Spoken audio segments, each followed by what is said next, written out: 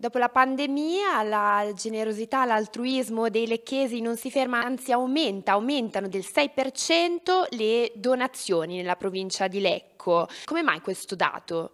Tradizionalmente il territorio lecchese è un territorio generoso per quanto riguarda la donazione di sangue e siccome noi abbiamo 15.000 donatori, ovviamente abbiamo un potenziale enorme, quindi nonostante eh, la pandemia, nonostante il rallentamento, nel 2021 siamo riusciti a incrementare le donazioni rispetto all'anno precedente. Un altro dato interessante è l'aumento delle giovani donatrici. Fisiologicamente è un pochino più difficile per le donne, tant'è che le donne possono donare solamente due volte all'anno, mentre gli uomini fino a quattro, quindi alla luce di questo acquista ancora più valore questo dato. Lecco è inoltre tra le province che donano di più in tutta Italia, c'è una densità di donatori veramente alta.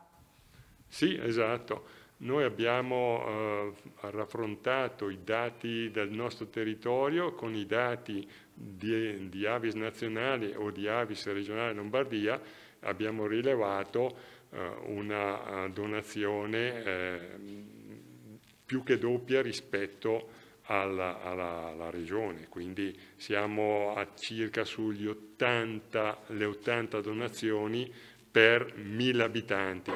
Teniamo conto che l'Organizzazione Mondiale della Sanità eh, dice che un rapporto ottimale dovrebbe essere di 40, quindi eh, siamo più che al doppio. E all'interno della provincia di Lecco c'è un paese che merita attenzione particolare. Bellano ha veramente tanti donatori. Bellano eh, raccoglie un territorio abbastanza vasto e eh, soprattutto mh, mm, raccoglie i donatori del gruppo di Premana che eh, è un caso particolare. Teniamo conto che su circa 2100 o 2200 abitanti, eh, a Premana ci sono 400 donatori,